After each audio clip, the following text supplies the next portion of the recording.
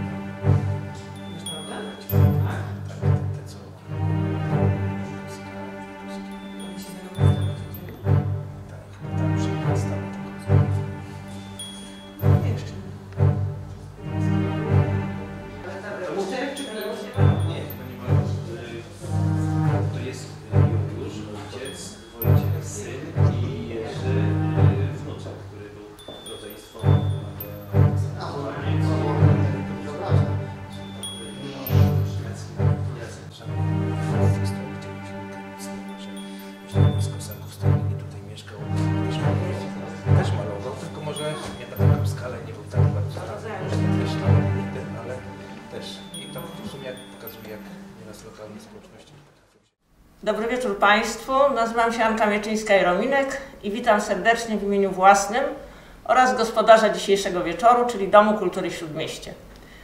Witam Państwa, Panią Samantę Belling, wiceprezes i Pana Marka Skorupskiego, prezesa y, Fundacji Dziedzictwa Kultury Polskiej.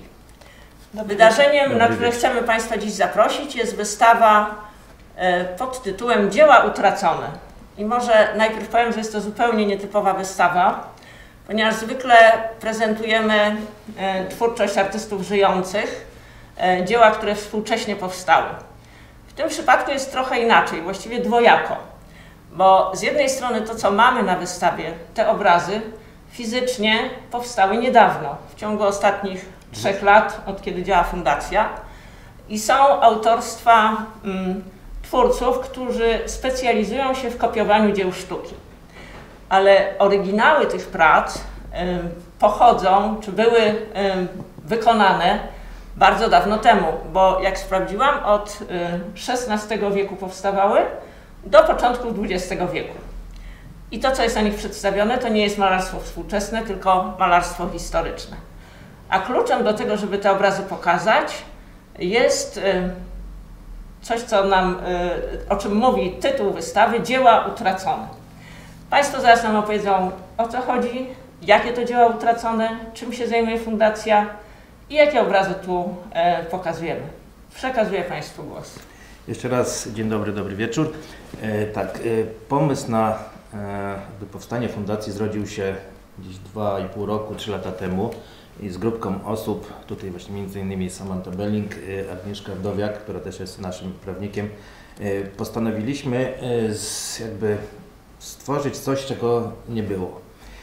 I oczywiście my nie jesteśmy malarzami, do tego musieliśmy zachęcić i, do współpracy namówić, jak to zostało wspomniane, artystów, malarzy, którzy podołają, podołaliby temu zadaniu, bo nie każdy, do którego się zwróciliśmy, jakby na ten akces przystał, a to też z tego względu, że mm, e, to zadanie jest bardzo trudne, bo trzeba, prawda, wcześniej przestudiować e, Może powiedzmy, czego to są e, kopie. No, kopie to są właśnie, jeśli chodzi o zbiory kultury polskiej, które zostały utracone w wyniku działań II wojny światowej. No właśnie, to jest klucz. to jest klucz, tak? Te dzieła były pokazywane w wielu naszych muzeach narodowych, w wielu muzeach okręgowych, ale także w pałacach czy dworach prywatnych. I y, wiemy na ten moment, że to są dane e, z archiwów niemieckich, że e, tych rekordów, tych dzieł było ponad 500 tysięcy. Mówimy też tutaj o mm, obrazach, grafikach, jakichś antykach. Chciałabym, żebyśmy się na moment zatrzymali przy tej liczbie. 500 tysięcy to jest pół miliona dzieł sztuki utraconych przez II Rzeczypospolitą Ale w wyniku działań wojennych. Dodajmy, tak? że to właśnie są dane pochodzące, jeśli chodzi o trzecią, trzecią Rzeszę Niemiecką, a jeszcze był Związek Radziecki, który też nam e, dużo tych skarbów naszych zabrał i do tej pory nie oddał. Chociaż wiemy, że e, w Muzeum Arbitrażu w Sankt Petersburgu czy Muzeum imienia Puszkina w Moskwie tych naszych dzieł jest bardzo dużo. Bo są na to dowody, bo też jedno z tych muzeum swego czasu pokazało na stronie internetowej, jakie ciekawe ma zbiory i no właśnie się okazało, że część z nich właśnie należało do Polski. W sumie też należy, tak? Tylko w tej chwili są zupełnie za granicą e, wschodnią. No to pokazuje ogrom e, e, zarówno e, tego, co utraciliśmy, jak i ogrom zadań, jakie stoją przed fundacją. Ale Pan mi zdradził, ile z tych y, set tysięcy, ile jest obrazów. Tak, jeszcze dodam, że z tych ponad tej półmilionowej liczby tylko około 63 tysięcy rekordów jest jakby dobrze opisanych, skatalogowanych i jest to najważniejsze zdjęcie, co przy odtwarzaniu obrazów jest sprawą wręcz najważniejszą. Tak? A jeszcze dodajmy, że większość tych zachowanych zdjęć jest po prostu czarno-biała. No właśnie, bo ja powiedziałam kopię, ale kopię na ogół się robi y, patrząc na pracę, na oryginał. W tym przypadku nie można patrzeć na oryginał. E, można tylko patrzeć albo na zdjęcie, albo posługiwać jakimś opisem, czy jak Państwo mi powiedzieli, prowadzić taką detektywistyczną pracę porównawczą, bo niektórzy autorzy wykonywali e, wiele obrazów o jednej tematyce Tak, i, i- stąd można tak, wnioskować. Część tak? się zachowała o podobnej tematyce, więc ten y, zaginiony, utracony obraz tym łatwiej wtedy jest jakby odtworzyć. Chociaż też mówię, jak mamy czarno-białe zdjęcie, y, nie jesteśmy, czy malarz nasz nie jest pewny kolorów. Czasem nam się udaje dotrzeć do opisów y, z ksiąg, książek, y, które zostały wydane na temat danego artysty jego twórczości przed wojną.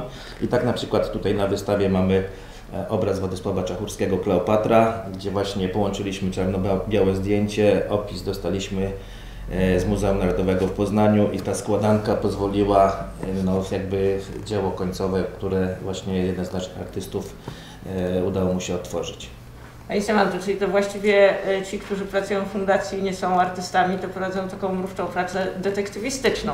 E, Również, jak najbardziej. E, Ja myślę, że do nas wszystkich należy ta praca detektywistyczna, bo tak jak już tutaj zostało wspomniane, bardzo często te- reprodukcje są bardzo małe, czarno-białe, niewyraźne, a często co więcej są to tylko i wyłącznie zdjęcia z wystaw. Na przykład z Muzeum Okręgowego w Bydgoszczy dostaliśmy tylko i wyłą- wyłącznie czarno-białe zdjęcie z wystawy z pomniejszonym jeszcze obrazem i tutaj mieli, dysponowaliśmy tylko i wyłącznie tą fotografią.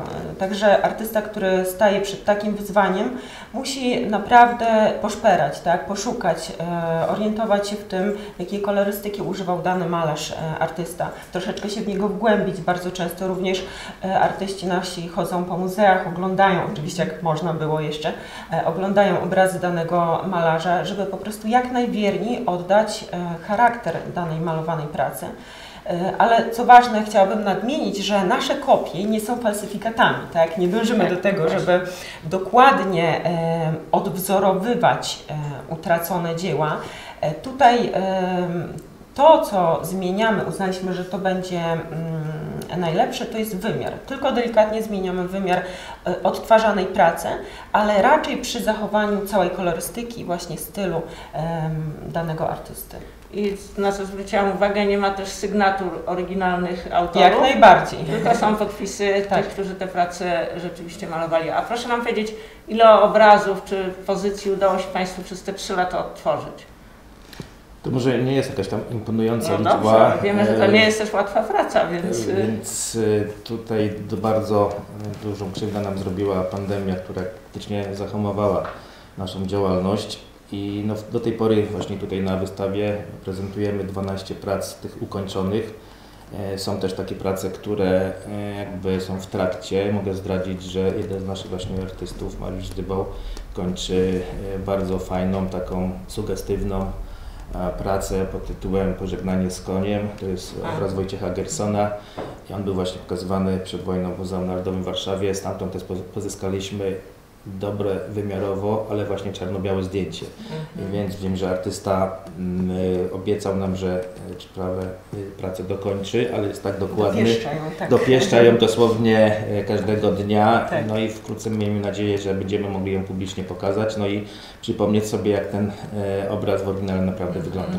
A, y, bo chyba nie mówiliśmy o tym, ile y, samych obrazów zaginęło z tych kilkuset tysięcy obrazów doliczyliście się Państwo? Znaczy to nie my Nie doliczyliśmy my, się, bo i- Ministerstwo Kultury tak. i Dziedzictwa Narodowego e, prowadzi taki katalog, który jest dostępny na stronie internetowej, chociaż tam jest zastrzeżenie, że to nie jest pełny katalog tych strat, tylko e, jakaś e, wybrana, ale duża liczba tych dzieł, które nam zostały zrabowane lub zostały skradzione lub w inny sposób zniszczone i tych dzieł jest, mówimy o samych obrazach, około 14 tysięcy, Z tego, Czyli jedyna- jedną tysięczną mniej tak, więcej. z tego 11 spotkali. tysięcy to jest y, artystów polskich. y, Także będziemy mieli co robić. Macie co robić. Mamy co robić i trzeba też jeszcze ważną rzecz dostać, dodać, że my jakby przypominamy ten wizerunek tych, tych zaginionych obrazów. Być może jeszcze nie mamy takiego przypadku, żeby ten nasza praca e,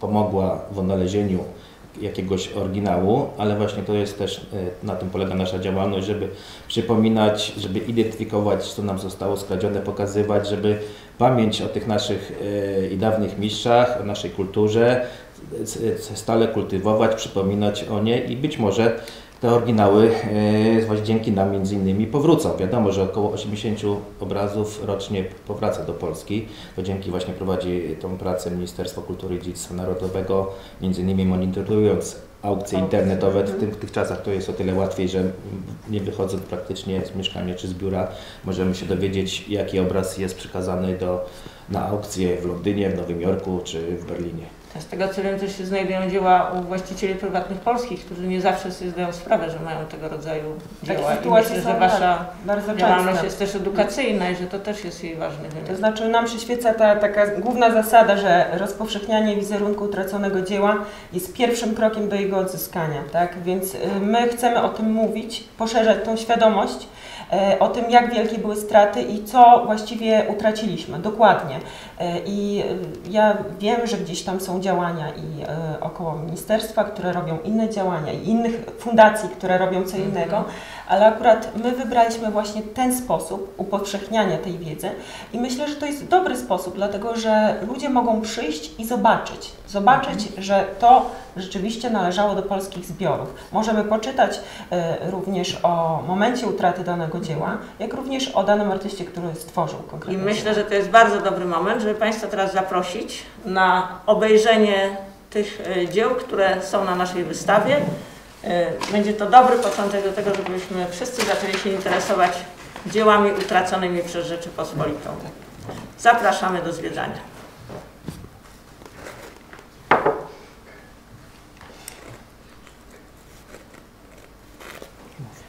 Przed nami obraz e, utracony Antoana Pesne z 1754 roku. E, Antoine Pesne był to francuski mala, malarz rokokowy. E, I tutaj też jest bardzo ciekawa historia związana z tym obrazem. Ja już bezpośrednio przejdę do momentu utraty, czyli do czasów wojennych, ponieważ w czasach, w trakcie wojny ten obraz znajdował się w Muzeum Wielkopolskim w Poznaniu, w jednym z największych ówcześnie muzeów e, w Polsce. I w momencie, kiedy Armia Czerwona wkroczyła do, e, do Poznania i na te tereny, e, oczywiście ten obraz również został zagrabiony, wywieziony w głąb Rzeszy, a później dalej już w, w kierunku Rosji.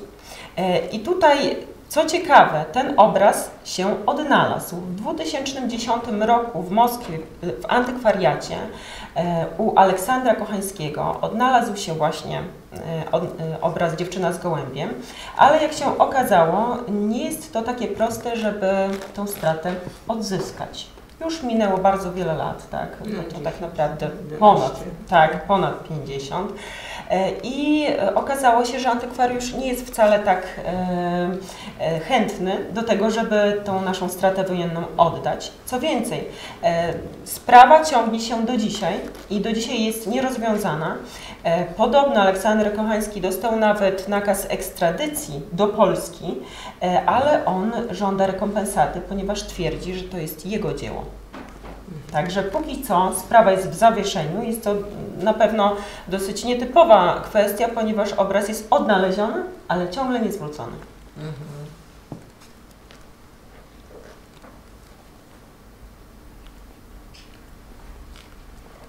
Kolejny portret kobiety. Tak, y, y, to jest portret kobiety, e, artysta, który się nazywał Kucharski. To był jeden z bardziej uzdolnionych portrecistów Polaków z końca XVIII wieku.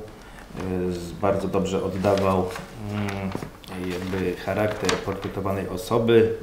Y, Był jakby protegowanym króla Stanisława Augusta, właśnie generalnie działał y, za granicą, więc to ten obraz też jest poszukiwany i być może dzięki nam, dzięki naszej działalności, dzięki temu, że właśnie w tej chwili Państwo oglądacie ten program, e, być może on się odnajdzie i zasili w ogóle i wróci na swoje miejsce, czyli do Polski.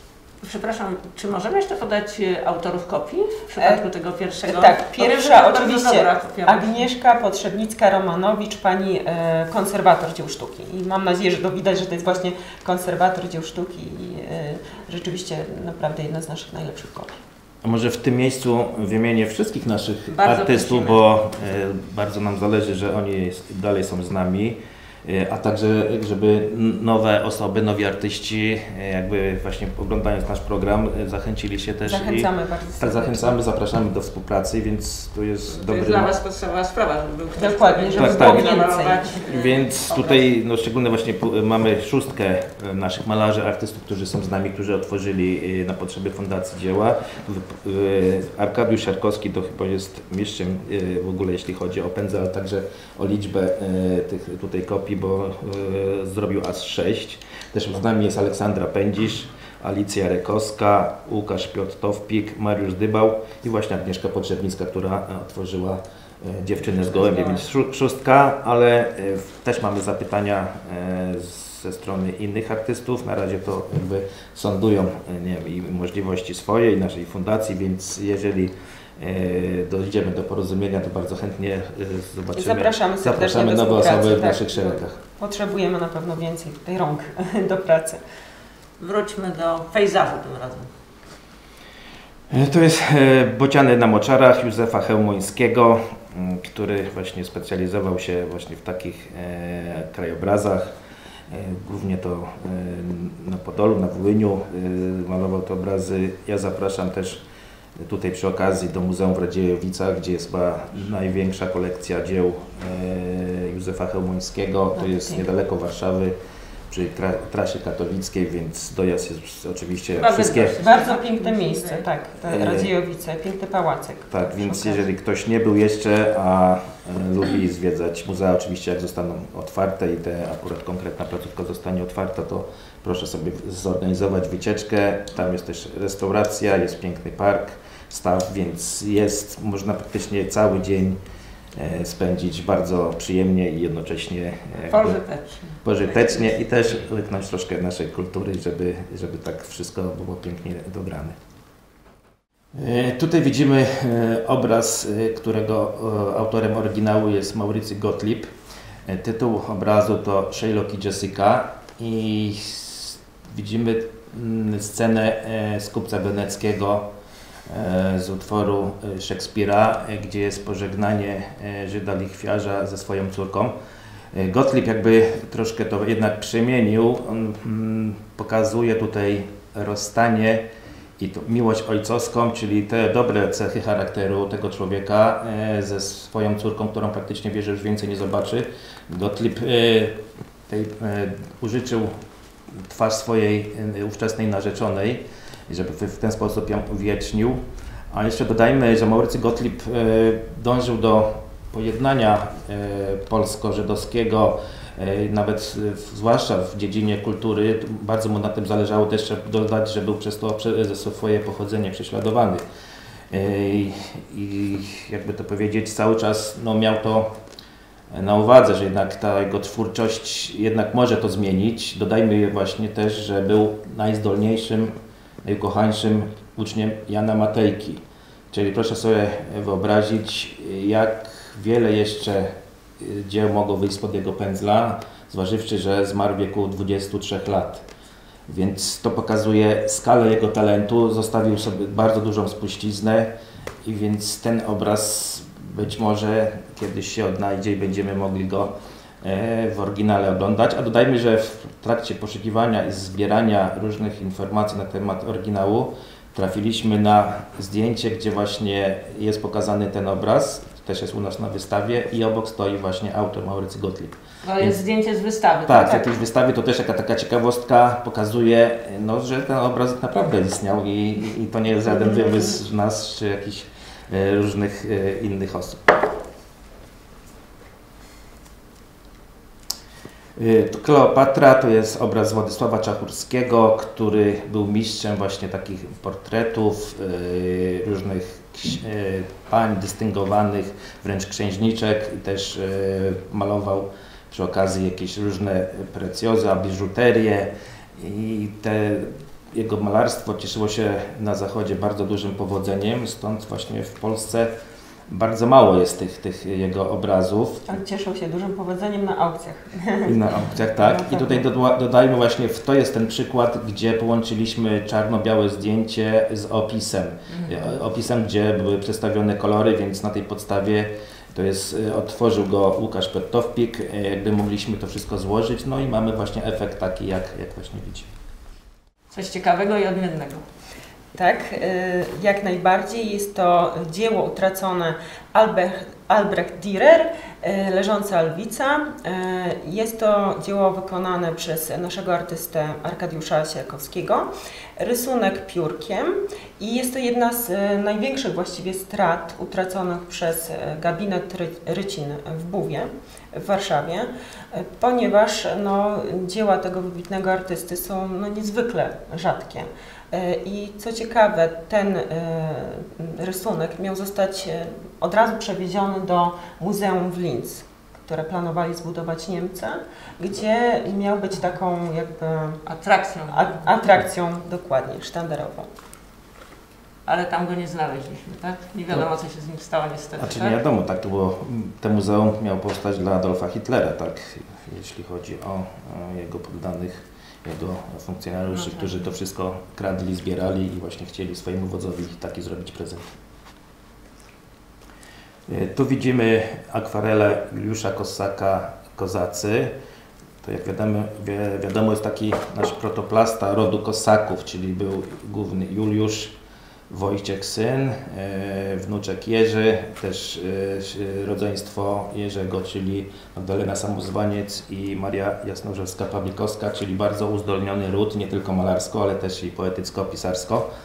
I te akwarele e, polegały na tym, że właśnie Juliusz specjalizował się w malowaniu na papierze farbą, która byłaby rozwodniona, specjalizował się właśnie w batalistyce, w koniach, jakby to jest jakby jego znak firmowy. Też był otrzymał Pewnie kopista też musiał mieć niezłe umiejętności, bo z tego co wiem, malowanie koni jest niezwykle trudne. Tak, e, e, kopię- kopię wy, wykonał Arkadiusz Siarkowski, któremu jeszcze raz dziękujemy. Tak. Prosimy o następny. niezastąpiony. No, to jest obraz, To jest który bardzo lubię. Pan go doniósł później, bo się okazało, że to są dwa ostatnie dzieła, te, które tam Tak, właśnie ten obraz e, Amor i Wenus e, Łukasza e, Kranacha starszego e, też wykonał e, Arkadiusz Siarkowski. E, Ten między innymi obraz jakby debiutuje, jeśli chodzi o wystawy w, w, w sferze publicznej i ten autor mm, pochodził właśnie z miejscowości Kranach i dlatego też jakby e, tego pseudonim jakby już do niego przylgnęło i przez lata i przez wieki e, do naszych czasów dotarło. Obraz pochodził, mówimy o oryginale, e, z rodziny Branickich. Konstanty to był taki znany podróżnik, kolekcjoner dzieł sztuki. Później przez różne mm, sprawy spadkowe trafił do poszczególnych innych członków rodziny. I był na posaże- wyposażeniu, w sumie tu niedaleko, Nowy Świat 18, jeśli chodzi o Warszawę. E, Najpierw to było, ten budynek został użyczony poselstwu, a następnie ambasadzie Wielkiej Brytanii. Wisiał w gabinecie samego ambasadora, czyli e, ambasador też widocznie doceniał e, dzieła sztuki. Na pewno, Kranacha zwłaszcza. Tak, i jeszcze dodajmy, że tutaj z tym obrazem żona chyba mm, ówczesnego właściciela była e, w ambasadzie, jeśli chodzi o okupację w roku 1940, ten obraz jeszcze był. Później e, następne wzmianki pokazują początek roku 1942 i tam się pojawia niejaki Kajetan Mulman. To był e, pełnomocnik generalnego gubernatora Hansa Franka, jeśli chodzi o, o kradzież dzieł sztuki, jeśli chodzi o tutaj tereny Polski i w późniejszym sprawozdaniu z tego samego roku, czy- czyli 1942, Mulman już nic nie wspomina o tym obrazie, gdzie tam wyka- wykazuje inne dzieła sztuki, więc nie wiadomo, czy je skradł dla siebie, czy w innych okolicznościach y, ten obraz zaginął. To też właśnie ten obraz y, debiutuje y, na, naszej, na naszych wystawach. To jest Diana i Kalisto, autorstwa oryginał Rubensa, a mm, otworzyła go dla nas Alicja Rykowska. To pokazuje taka scenka mitologiczna, gdzie utwór napisał Owidiusz i jest Diana, czyli piękna bogini, tak? Łowów. Łowów. Kalisto była też taką leśną nimfą i tymczasem Zeus nie zakochał się w Dianie, a właśnie w Kalisto. I pod postacią właśnie Diany tak się przemienił, że tak się zbliżył do Kalisto, że możemy sobie dalsze e, dopowiedzieć historię. W każdym razie to właśnie jest obraz, ten, ta scena pokazuje, że ciąża Kalisto jednak jakby jest już widoczna. Diana ją przepędziła i zamieniła w niedźwiedzia i no i właśnie ta nieszczęśliwa miłość, nieszczęśliwa historia taki miała finał. Dodajmy jeszcze, że Rubens właśnie na podstawie tego małego szkicu jakby namalował duży obraz o wymiarach tam 2 powyżej też na 3 metry, który znajduje się w Muzeum Narodowym w Prado w Madrycie. Mhm. Więc to też można było jakby te barwy, kolorystykę z tego dużego obrazu tutaj, jeśli chodzi o te przenieść. Mhm. Poprosimy o następny. To jest też o tyle ciekawy obraz, że on może nie jest związany tak bardzo z kulturą e, polską, jeśli chodzi o, o dzieła sztuki, bo ten obraz był przed wojną pokazywany w Śląskim Muzeum Sztuk Pięknych we Wrocławiu. Autor, Czyli ówcześnie teren nie Tak, to właśnie jest, pokazuje jak wojna i prawo e, zmienia, kto jest właścicielem e, danego dzieła sztuki. To możemy samo powiedzieć o naszych dziełach, które zostały w Lwowie, na przykład. Prawda? I to jest, pokazuje taką, e, Edward von Gritzer specjalizował się w takich scenkach mm, przedstawiających mnichów, którzy wiadomo ważą piwo, produkują wino, więc bardzo takich dość, e, nie wiem, nazwijmy nawet frywolnych, lekkich scenkach, gdzie praktycznie ta twórczość się przejawia przez jego większość e, jego dzieł, ale dość był popularnym artystą i jego dzieła chętnie znajdywały nabywców. I tu też, też mamy dość ciekawe. To nam się kojarzy. Tak, to się nam bardzo kojarzy, bo e, autor oryginału Aleksander Gierymski otworzył dla nas e, znowu nasz wspaniały Arkadiusz Siarkowski. E, ta e, Gierymski mm, stworzył serię obrazów, jeśli chodzi o życie społeczności żydowskiej na Powiślu czy w Warszawie i między innymi ta modelka, bo to też widzieliśmy, z, y, są zdjęcia, zachowały się tej, tej pani, posłużyły mu e, za namalowanie kilku obrazów.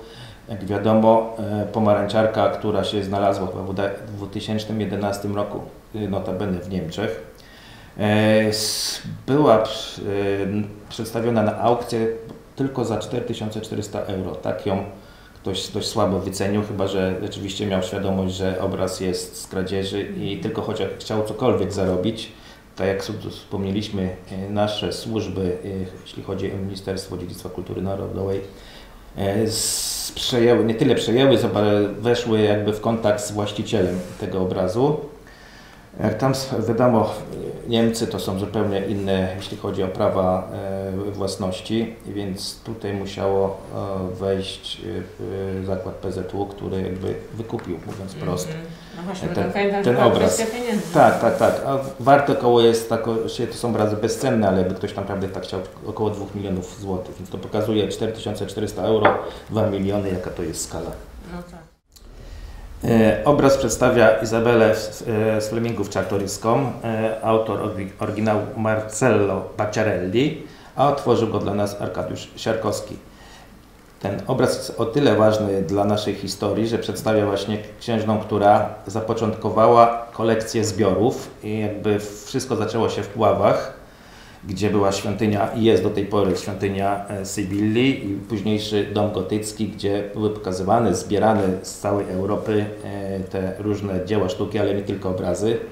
Więc na przykład chyba jest szabla Tadeusza Kościuszki, więc y, Polecam, byłem niedawno, jeżeli jeszcze były czynne obiekty muzealne, warto to niedaleko też Warszawy lub z innego miejsca dojechać. Też jest wspaniały park tuż nad Wisłą, więc też można spędzić bardzo miło wolny czas.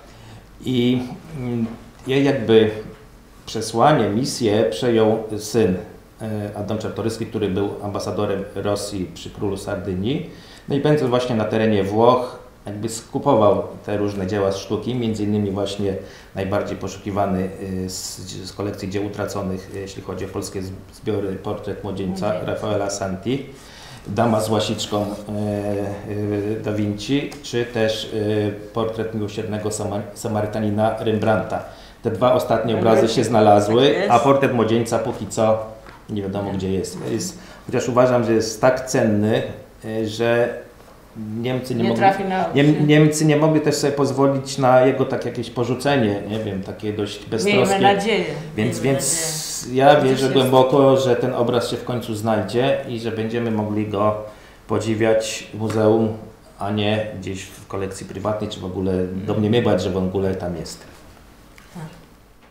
Zapraszamy na krótką prelekcję Pani Samanty, która uświadomi nam, w jak zorganizowany i przemyślany sposób rabowane były polskie dzieła sztuki. Tytuł prelekcji Podwójne oblicze niemieckiego oficera. Szanowni Państwo, dzisiaj opowiem o Hermanie Wilhelmie Geringu w kontekście kolekcjonerstwa dzieł sztuki. Hermann Wilhelm Göring był działaczem nazistowskim, niemieckim oficerem, asem myśliwskim, dowódcą Luftwaffe, premierem Prus. Z tej strony jest znany szerokiej, szerokiej publiczności, a z drugiej strony był kolekcjonerem dzieł sztuki, no i na pewno dosyć fascynującą osobowością, ponieważ e, Hermann Wilhelm Göring być może nie miał sumienia, ale na pewno miał dobry gust, jeżeli chodzi o dzieła sztuki. I od tej strony dzisiaj sobie przyjrzymy się tej osobowości. Ja będę opowiadała e, o Karin Halle, o jego, e, o jego przepięknej e, posiadłości położonej niedaleko Berlina, której stał się posiadaczem, ponieważ, ponieważ został mianowany na pierwszego łowcę III Rzeszy, był zwierzchnikiem niemieckich lasów państwowych i był myśliwym. I to był taki dworek myśliwski, no dworek myśliwski, e, który stał się olbrzymim pałacem, bo dworkiem zapewne nie był. Skąd wzięła się sama nazwa Karinhalle? Od Karin von Kanzow, która była, była jego drugą żoną, zresztą ukochaną, której mauzoleum znajduje się właśnie w podziemiach e, Karinhalle. E, Karinhalle było przepiękną rezydencją położoną w, w rezerwacie przyrody niedaleko Berlina. I szanowni Państwo, musimy sobie też wyobrazić, e, jak to wyglądało i jak się prezentowało, ponieważ większość dzieł sztuki zrabowanych przez Geringa była przewożona właśnie tam. E, co ciekawe, no jak się Państwo domyślają, Gering nie wchodził w posiadanie tych dzieł sztuki na drodze zakupu, tylko wszystko odbywało się na zasadzie konfiskaty, grabieży wojennej, bądź też zastraszania. No, używał do tego, y, do, tego, do, do tego, aby zgromadzić ten olbrzymi majątek i przepiękną kolekcję dzieł sztuki, używał niecnych y, uczynków. Y, I Szanowni Państwo, ta kolekcja, która przed wojną liczyła sobie 200 dzieł. Po ukończeniu wojny no, miała już około 1500 dzieł, w tym, e, w tym e, wybitnej klasy dzieła 250 rzeźb, około 170 cennych tkanin, około 1000 obrazów. Także jak możemy sobie wyobrazić, raczej znakomita większość została zgromadzona w czasie II wojny światowej. E, Karinhale było olbrzymią, piękną rezydencją, e, bardzo opływającą we wszelkie luksusy, ponieważ Gering był osobą, która bardzo lubiła przepych mm, i bardzo lubiła chwalić się tym przepychem. E, co znajdowało się w ogóle w Karinhale? Proszę sobie wyobrazić, że w tym dworku myśliwskim. E, był nawet basen, była sala gimnastyczna, była strzelnica, był specjalny pokój, w którym była sala z makietą kolejową, gdzie spadały drewniane bomby na, y, na pociągi. E, także w ten sposób Gering zabawiał swoich gości, wysoko postawionych e, oficjeli. Jedni troszeczkę gdzieś tam się wewnętrznie z niego naśmiewali, inni byli pod ogromnym wrażeniem tego, co Gering prezentuje w, swoich, w swojej posiadłości. Wszystko opływało luksusem. Mieliśmy tam rzadkie drewna, bardzo, bardzo wyjątkowe, e, wyjątkowe marmury. Wszystko było ozdabiane również jego inicjała, inicjałami literą H. E, zasłony, obrusy były wyszywane złotem.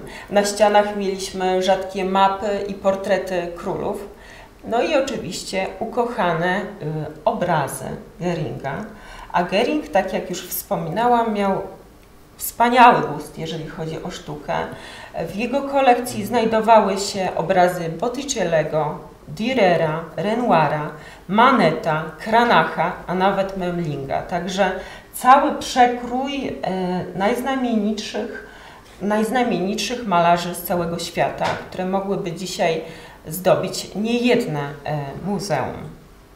I proszę sobie wyobrazić, że tak naprawdę znakomita część tej kolekcji obecnie została zagrabiona i do dziś nie wiemy, gdzie większość z tych obrazów się znajduje. A jak do tego doszło? E, w 1943 roku, kiedy, e, kiedy już Goering wiedział, że, że niekoniecznie będzie dobrze, jeżeli chodzi o wygraną Niemiec. I kiedy, kiedy zaczęły się już pierwsze ruchy armii sowieckiej, on już pomalutku zaczął wywozić z terenów Kerinhale co lepsze dzieła sztuki, e, klejnoty e, i zaczął się powoli tego pozbywać. Ale kiedy już rzeczywiście Armia Czerwona wkroczyła na teren Karinhale e, i, i pobliskich miejscowości, zaczęły się załadowania pociągów, które, mm, które były pełne kolekcji dzieł sztuki Geringa, które były pełne złota, drogich kamieni, które były wywożone do e, posiadłości Hitlera niedaleko Berlina. Jak Państwo już pewnie, zapewne część zna tę historię, ale w momencie wywożenia tych dzieł e, pociągi były napadane, tak? Na pociągi napadano, tubylcy, e, tubylcy rozgrabiali zawartość pociągów i wchodzili w posiadanie no, tych, tych pięknych kolekcji dzieł sztuki. E, nawet są opisy takich momentów pod Unterstein, gdzie doszło do takiej pięknej katastrofy, gdzie właśnie z jednej strony nadciągała armia niemiecka, z drugiej strony Francuzi i Amerykanie. No i okoliczna ludność po prostu rozgrabiła zawartość pociągu, e, rozpijając koniaki, doskonałe wina, a resztą się dzieląc. Część tych dzieł trafiła do bunkru e, w Kuningse, a część do starej e, austriackiej kopalni. No a część oczywiście zginęła bezpowrotnie i e, no, do dzisiaj nie możemy odnaleźć e, tych utraconych dzieł. Wiadomo, że Amerykanie e, w Stanach znajduje się bardzo wiele jeszcze tych dzieł z kolekcji Geringa. Bardzo często gdzieś tam pojawiają się na aukcjach, więc na pewno śledząc je możemy natknąć się na takie dzieła.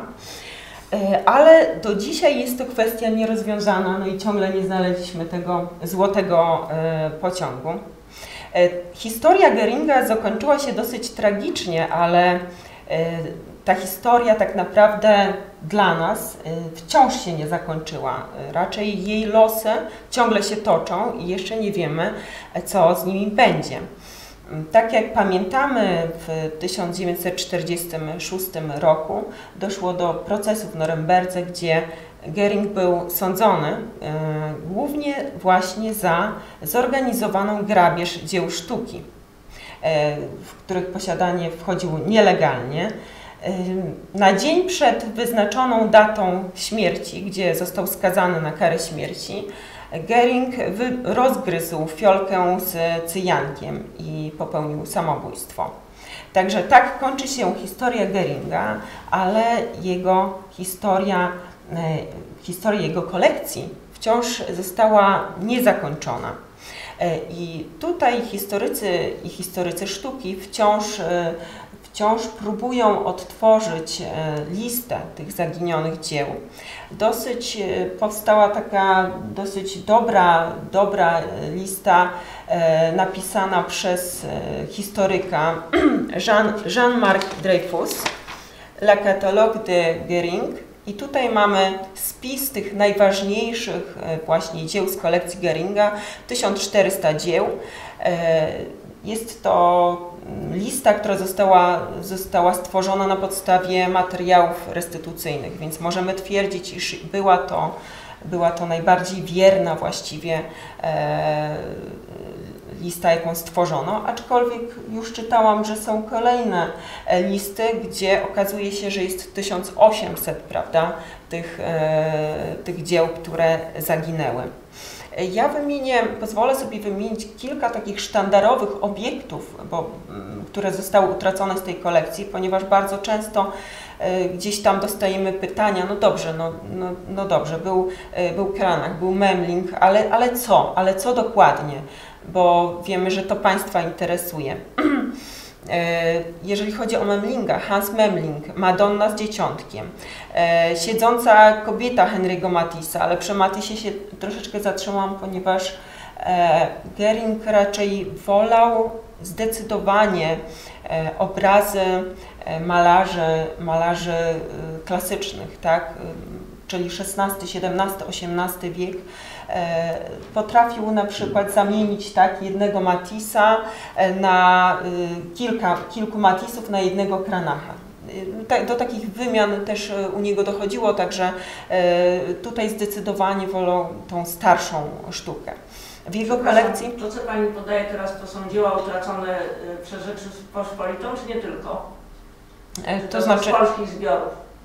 To, to nie tylko, nie tylko, bo, ponieważ to było zagrabione no, na tych terenach, gdzie e, stacjonowali Niemcy, więc też z Austrii na przykład, tak. E, Gering też bardzo często, y, bardzo często na drodze zastraszania, o którym mówiłam, e, zastraszał również e, marszandów e, i wybierał sobie ich bardzo skrupulatnie, proponował im współpracę, a raczej była to jednostronna współpraca i oni po prostu nie mieli wyjścia.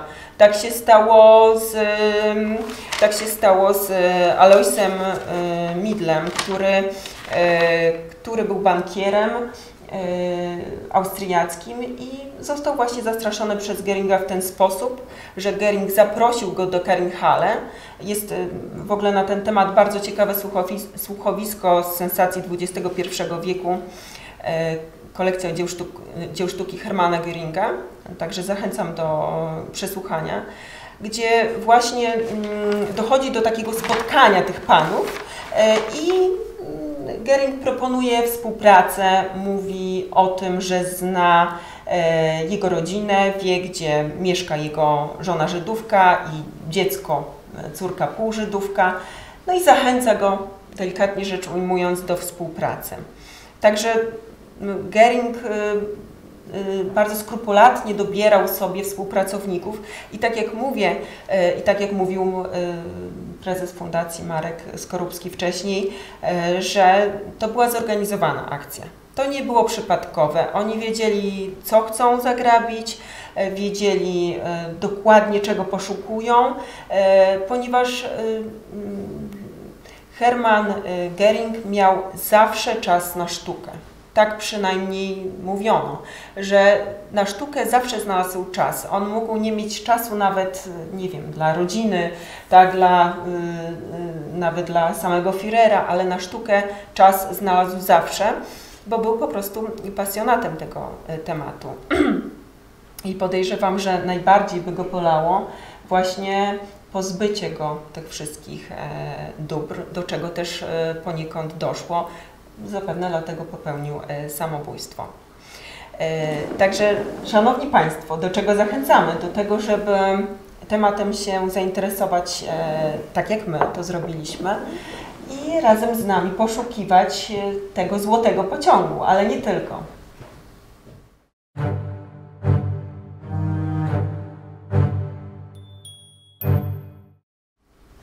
Witamy e, Państwa ponownie. E, przypominam, że e, jesteśmy na wystawie w Domu Kultury Śródmieście w Warszawie Fundacji Dziedzictwa Kultury Polskiej i na ten moment chcieliśmy też zapoznać Państwa z najbliższymi planami naszej fundacji.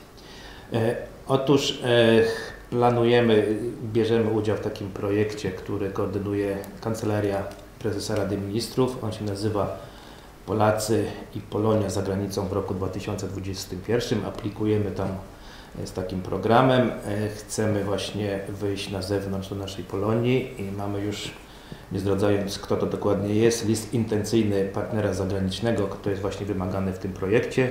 Niebawem będzie rozstrzygnięcie. Możemy zdradzić, że z Nowego Jorku, także trzymamy mocno kciuki, żeby jednak się udało, bo plany są właśnie na przyszły rok, na jesień. E, I jak najbardziej ten Nowy Jork myślę, że, e, że nam się podoba i dla naszego partnera również, więc bardzo liczymy na to, że, że tym razem nam się po prostu uda. I to by była nasza pierwsza wystawa za granicą. Do tej pory nam udało się kilka zorganizować, ale właśnie tylko w Polsce, więc trzymajcie za nas kciuki. E, my wierzymy głęboko, że ten plan, projekt się uda.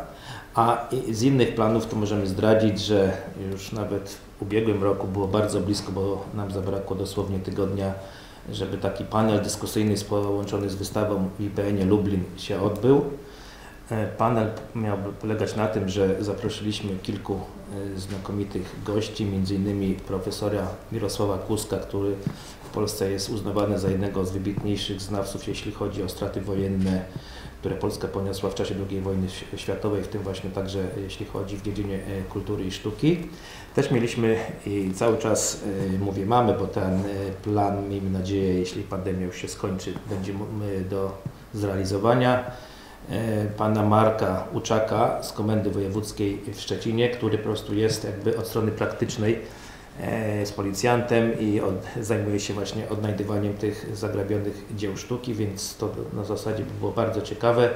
E, mamy sygnały właśnie z IPN-u Lublin, że ten panel, nawet organizatorzy na miejscu w Lublinie chcą e, rozszerzyć do dwóch dni, więc bo też się zgłaszają inne ośrodki, temat jest dla nich bardzo ciekawy, więc jesteśmy otwarci na, na gości, na, na ten program, jeśli chodzi o dokładne ułożenie planu, więc miejmy nadzieję, że to nam się uda, a jeszcze dodajmy w Lublinie, Lublin to jest miasto studentów, młodzieży, więc na ten, tę wystawę, ten panel też planujemy zaprosić miejscową młodzież ze szkół licealnych czy, czy z miejscowych uczelni wyższych, więc miejmy nadzieję, że to się nam po prostu uda. E, bardzo gorąco na to liczymy, że w końcu pandemia w końcu odpuści i wszyscy będziemy mogli odetchnąć swobodniej i, i organizować, e, jeśli chodzi o kulturę i sztukę, wspaniałe eventy. E, to ja również korzystając z okazji opowiem o naszym kolejnym projekcie właśnie na ten rok, e, który również mamy nadzieję, że uda nam się zrealizować. E, to, co zauważyliśmy, e, podsumowując nasze działania, to przede wszystkim fakt, że e, nasze działania docierały do określonej grupy wiekowej. I może, żeby nie zamykać sobie właśnie żadnych drzwi, postanowiliśmy rozszerzyć nasze działania właśnie poszerzanie wiedzy o dziełach utraconych, również na te inne grupy wiekowe, a najbardziej skupić się na młodzieży. E, I tutaj e, wspólnie doszliśmy do wniosku, że taką najlepszą formą nauki e, będzie na, na pewno przekaz internetowy bądź, bądź online, tak? Więc wszystkie nasze działania przenosimy do online'u tak zwanego. Mianowicie stworzyliśmy projekt Chatbot Dzieła Utracone. I to jest taki pomysł, gdzie aplikacja, która jest podpięta pod Messengera, z której korzysta praktycznie każdy, będzie odpowiadała na pytania, które będą już wcześniej sprecyzowane, dotyczące właśnie dzieł utraconych. To tak w telegraficznym skrócie, jak miałoby to wyglądać. Początkowo mamy w planach wyposażenie takiego chatbota w około 150 rekordów utraconych dzieł. Jak już Państwo słyszeli, tych dzieł utraconych jest kilkaset tysięcy, także myślę, że jeżeli projekt wypali, będziemy mieli dalej co robić.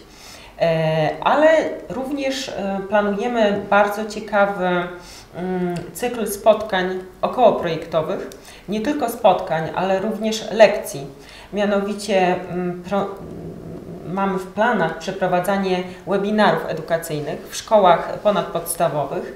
E, naszą grupą docelową są licea i mamy wrażenie, że ten nasz e, projekt właśnie chatbot Dzieła Utracone może faktycznie trafić do tej grupy odbiorców e, w zdecydowanie lepszy sposób niż, niż kopie tych utraconych dzieł. E, tutaj, mm, jeżeli chodzi o współpracę, to będziemy współpracować z Łazienkami Królewskimi, z Zamkiem Królewskim czy z Muzeum Okręgowym w Bydgoszczy. Tutaj już mamy potwierdzoną współpracę i z tych miejsc będziemy czerpali, e, czerpali fotografie, do, e, które będziemy później digitalizowali do konkretnie do tej aplikacji chatbotowej. Także trzymajcie za nas kciuki, dlatego że projekt jest bardzo ciekawy. I wydaje nam się, że jeżeli wypali, to naprawdę ta wiedza o utraconych e, dziełach może dotrzeć do znakomitego grona odbiorców. Jeszcze uzupełnię, że ten program, który e, przed chwilą e, wspomniała Samanta, koordynuje Ministerstwo Dziedzictwa Kultury Narodowego i właśnie w dziedzinie kultury cyfrowej i my aplikujemy w tym programie i miejmy nadzieję, że nasz pomysł, nasz plan się spodoba na tyle, że zostaniemy jakby zatwierdzeni. Już odliczamy dni, do, tak, odliczamy trzymamy dni mocno kciuki.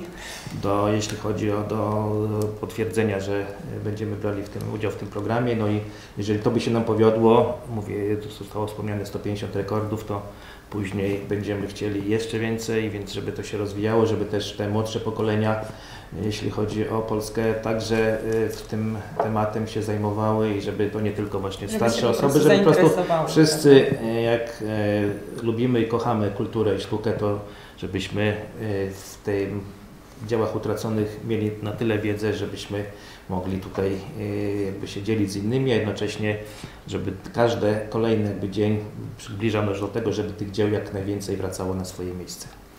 Jeszcze korzystając z okazji, my mm, to jako fundacja e, przygotowaliśmy e, taki na naszej stronie e, internetowej lub też na naszym Facebooku są tam wszystkie wiadomości, jeśli chodzi o, zbliża się ten moment przekazywania 1% z podatków. Jeżeli Państwo uznajecie, że nasz program i nasze działania wymagają i z Waszego wsparcia, to bardzo chętnie e, na to czekamy, no i właśnie na Was liczymy, bo nie ma co ukrywać, że ta działalność trochę kosztuje, też już własnych trochę środków zaangażowaliśmy, chcemy zrobić jeszcze więcej, ale jeszcze szybciej ale to właśnie jakby jest uzależnione od środków finansowych, więc bardzo dziękujemy, tak, że jesteście, że nam poświęciliście te chwile y, tutaj na nasze spotkanie. Zapraszamy na nasze spotkania y, w najbliższym czasie. Obserwujcie naszą stronę. I Facebooka, bo I tam chyba jest y, tak najczęściej coś wrzucamy i będziecie mogli po prostu obserwować nasze działania, bo jest ich coraz więcej. A też jeżeli ktoś, apel do artystów, chce z nami się związać y, bliżej, na stałe, to też zachęcamy. Też zachęcamy jakby historyków sztuki, czy nawet pasjonatów, jeżeli chcecie w jakikolwiek sposób, nie tylko finansowy nas wesprzeć, czy jakiś nawet merytoryczny, na przykład przy ustalaniu e, tematów do panelu dyskusyjnego jesteśmy otwarci. Czy proweniencji konkretnych obrazów, to zapraszamy do współpracy jak najbardziej. Dziękujemy. Dziękujemy bardzo.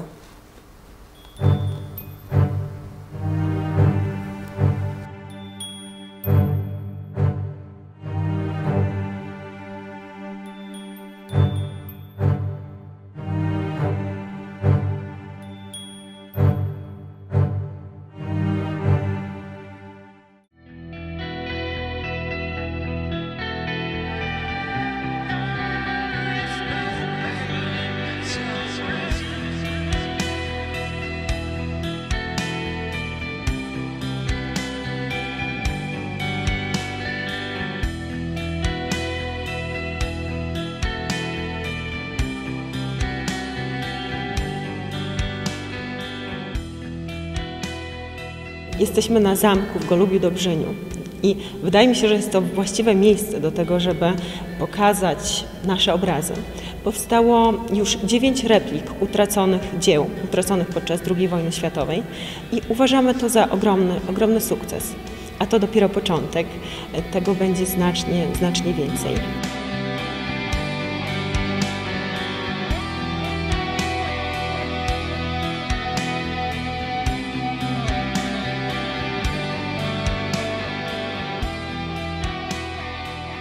Przyjmuje się, że Polska w trakcie II wojny światowej straciła 70% dziedzictwa kulturowego. Pierwszym krokiem do odzyskania utraconego dzieła jest właśnie rozpowszechnianie jego wizerunku. Fundacja Dziedzictwa Kultury Polskiej właśnie to robi. Zorganizowaliśmy już pierwszą wystawę. Otworzyliśmy m.in. obrazy e, takich mistrzów jak Bacciarelli, Gottlieb czy Rafael.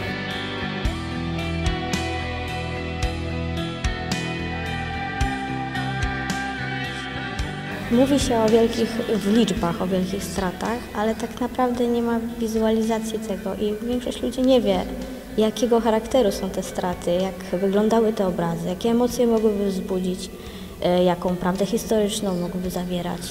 E, Nie mamy dostępu, nie ma publikacji w książkach, nie można zobaczyć w muzeum i ten projekt daje taką szansę, że można, zwykły człowiek, obywatel Polski może zobaczyć, jakiego charakteru straty ponieśliśmy i jak ważne jest, aby dążyć do odzyskania.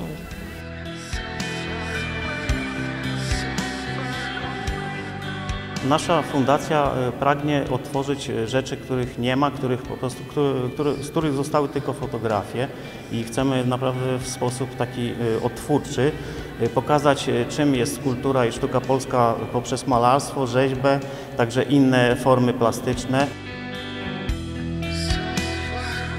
Najciekawszym elementem pracy było zbieranie informacji na temat obrazu, ponieważ informacje są bardzo szczątkowe, są to przeważnie małe fotografie e, z katalogów muzealnych. Są to również czarno-białe fotografie, więc cała kolorystyka musiała być oparta na, na bazie innych obrazów tego samego artysty. Nie zastanawiałam się w ogóle nad decyzją podjęcia udziału w projekcie i wykonywanie kopii tych obrazów e, wręcz e, uczy mnie odmowa malarstwa.